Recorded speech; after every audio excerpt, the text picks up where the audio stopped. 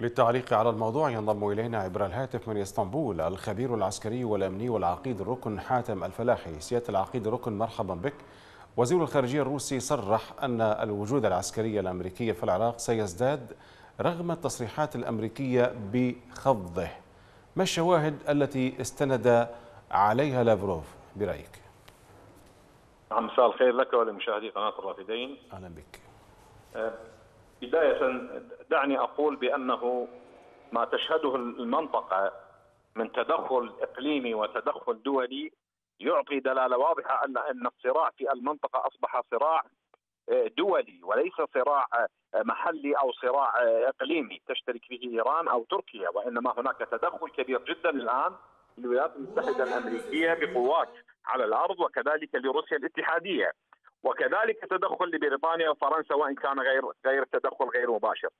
التصريحات الأمريكية تؤكد عدم وجود نوايا للانسحاب من سوريا في المستقبل القريب لأن أمريكا الآن تعمل على صناعة وكيل جديد لها في سوريا لأن تجربة العراقيين لم تنجح بسبب تحول الوكلاء العراقيين إلى وكلاء إلى إيران بما فيهم الأكراد عندما فشل في إقناع برزاني بإثنائه عن مسألة الاستفتاء وبذلك أنا أعتقد بأنه ترى الولايات المتحدة الأمريكية بأن المصلحة الأمريكية تقتضي التواجد الآن في سوريا وبقوة وكذلك في العراق، اولا ستكون قريبة من جميع الأطراف بما فيها تهديد إيران في الفترة المقبلة من خلال التصريحات التي تصدر الآن من قبل الإدارة الأمريكية الجديدة، إضافة إلى هذا دعم الحلفاء في المنطقة في محاولة لتقسيم سوريا في الفترة المقبلة، لأن سيطرة أو أو دخول الحل السياسي بما تريده روسيا بمعنى هيمنة روسيا على المشهد في سوريا، لذلك تعمل الآن على عدم عدم إعطاء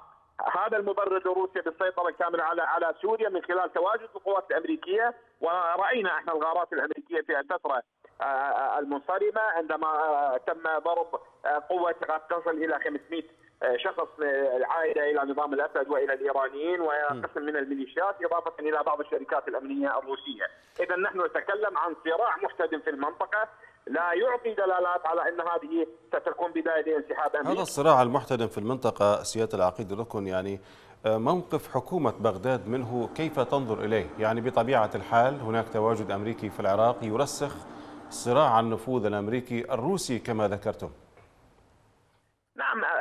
هؤلاء أدوات يعني. يعني جميع الآن من موجود في المنطقة من يعملون سواء إيران هي أدوات سواء كانت بيد روسيا أو سواء بالنسبة للقوات سوريا الديمقراطية أو بالنسبة للحكومة العراقية وما إلى ذلك، هؤلاء تحركهم المصالح لهذه الدول، الدول الكبرى في المنطقة، وبذلك نحن نقول بأنه هؤلاء يستخدمون من قبل الولايات المتحدة الأمريكية بما تملي على مصالح الولايات المتحدة الأمريكية استخدامهم، أنا أعتقد بأن العراق سيكون ساحة صراع مقبلة في الفترة المقبلة خصوصا لما كانت هناك انتخابات لم تصب في مصلحة الولايات المتحدة الأمريكية في السيطرة على زمام الأمر في العراق، لذلك نحن مقبلين على تعقيد كبير جدا في المشهد السوري وفي المشهد العراقي في الأيام المقبلة.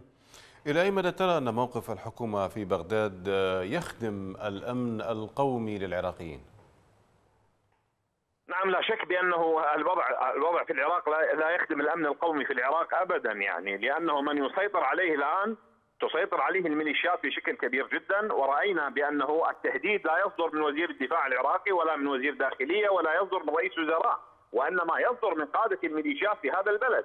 وبالتالي نحن لا يمكن لنا أن نتكلم عن مصلحة أمن قومي. إذا كان من يدير البلد هم أشخاص لا يأتمرون بأمرة الحكومة العراقية وإنما يأتمرون بأمرة أطراف خارجية.